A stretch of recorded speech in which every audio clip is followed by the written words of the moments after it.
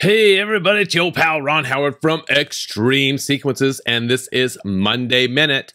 How many different tree models do you see in my display?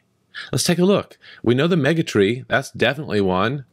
Uh, what about these? These uh, these trees over here, twig trees, they're winterberry trees. Yes, they are definitely a mega tree. What about spirals? Let's go to this one right here.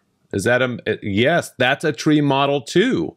Uh, the difference is it's using one string, as you see right here, and by manipulating the top and bottom ratio and the rotations, this is how we create spiral trees.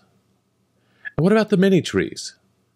Absolutely. It's a tree model, and it's basically using uh, perspectives and ratios and the number of strings and how many nodes per string and how many uh, strands per string to create the mini tree. But what about a cylinder? Have you ever thought about using a cylinder, or do you wrap your tree trunks well, here's a great way you can do this with the tree model. So we're going to select this tree over here that I have appropriately called Mega Tree Agility, and we're going to change this to the bottom top ratio to look a little bit differently. So if we click the bottom arrow, watch what happens. Keep doing that until it's a perfect cylinder. That looks pretty good to me. Then what we can do is click that center handle there until we get the little square and we squeeze this down.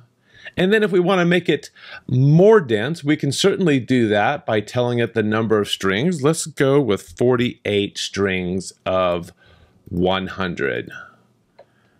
Let's make this very, very dense. There we go. And there is our cylinder. This is really, really cool. And now, for trees, certainly that might be a little too dense, but you certainly could use that density and then shape this accordingly for a tree trunk. Or if you simply just want to make a really cool cylinder on the ground to run messages, uh, you could do this. So don't think of the tree model in xLights as a one-trick pony. I assure you it is not. All right, that's it. This has been Monday Minute. Take care.